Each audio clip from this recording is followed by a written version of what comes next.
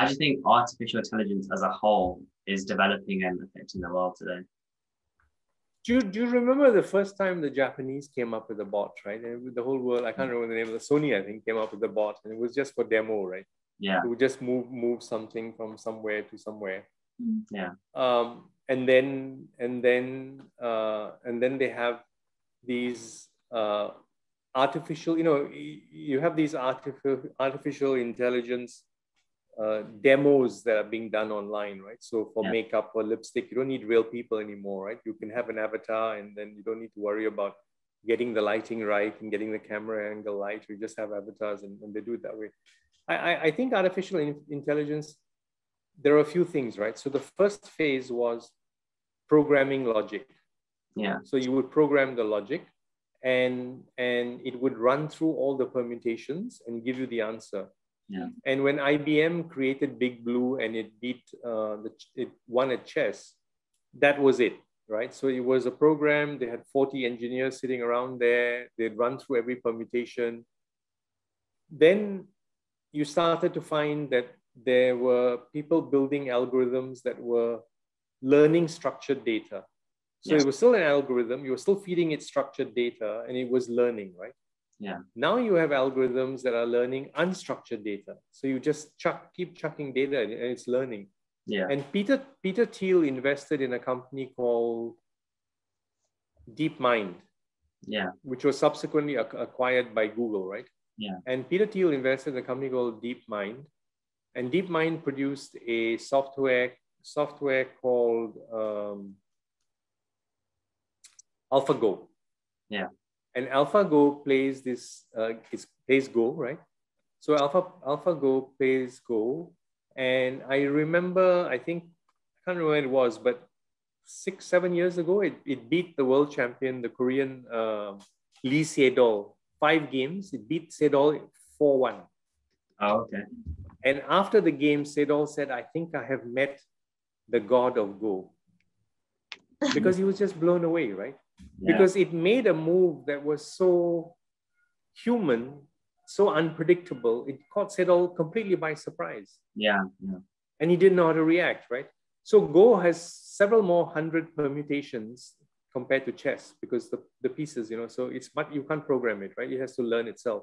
Yeah. And the guys who built it, they started building a video game, which then evolved into this machine to play uh, to play Go.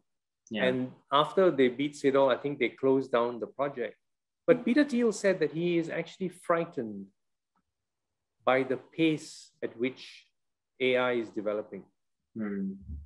And it's, he says that people who are not in this area just don't understand how fast this is going. And you know, we talk about singularity where machine and, and, and man can think the same. Yeah. Singularity may come. Yeah. I mean, I may not see it. Um, you guys might see it. Hmm. And and there's a there's an Israeli uh, uh, author called um, Yuval Hari uh, Yuval Noah Harari who wrote a Yeah. series of books, and one of the books, one of the more recent books he wrote was Homo Deus, and in Homo Deus you can be part machine and part human. Yeah. Wow. And he raised the issue, which I thought was quite fascinating. He said, right now, we have this um, moral restraint, Hmm. which says that if you lose a hand, I should be able to medically give you back the hand, but the hand should be no more powerful than the old hand. And so if you lose an eye, I should give you back an eye, but it shouldn't be more powerful than the old eye, right? But this is a moral line that people are saying, right? Hmm. He says once science and medicine pushes its boundaries, why won't you opt to change your eye? Why won't you opt to change your hand? Why won't you opt to change your ear? Yeah. Because you can get such a better one. Right? And so there's a there comes a point where there's this moral issue that needs to be discussed by technologists. Yeah.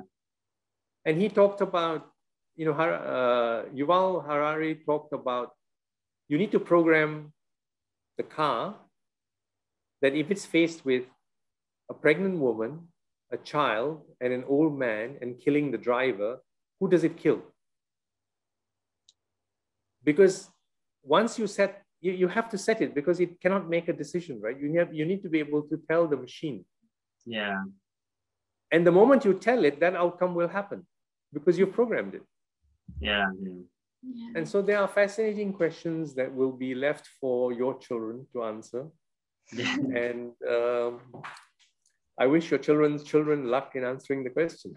well, even like changing an arm and stuff, there's even you can change the genetics of a baby before it's born. I know there's a lot of laws against it, but science, it's kind of unpredictable. yeah, I mean, there's actually- the case of the, the South African runner, right? Piet- Pistorius, uh, who applied to run in the Olympics. Yeah. And the Olympic Committee had to think about does his prosthetic leg give him an advantage over a human leg? yeah. Valid question, right? And today you get these exo, exoskeletons, and you see them in the warehouses, right? They, you put them on, and it gives you a little bit more extra power to lift something. Hmm. You know, Iron Man might just happen, right?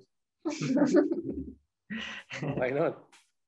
we might be multiple Ironmans, not just one then. yeah, and, and you know, in fact, and that's what that's what Peter Thiel actually talked about once. And I was listening to his interview, and he said that there could come a time where machines cohabit with us, yeah.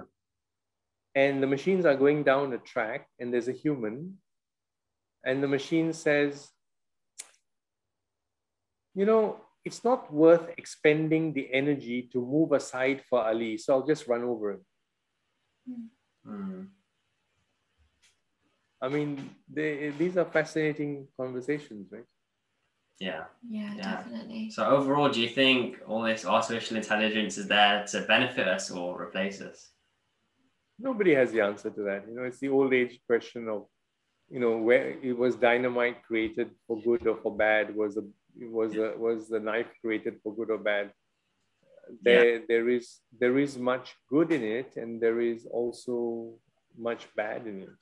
Mm, Yeah. you can't the thing is you can't stop technology because you can't unilaterally agree that everybody is not going to use it somebody will leak and somebody will use it Yeah. and then when that person uses it then that person has an advantage or that company has an advantage and then of course you can't stop it right Yeah. mhm.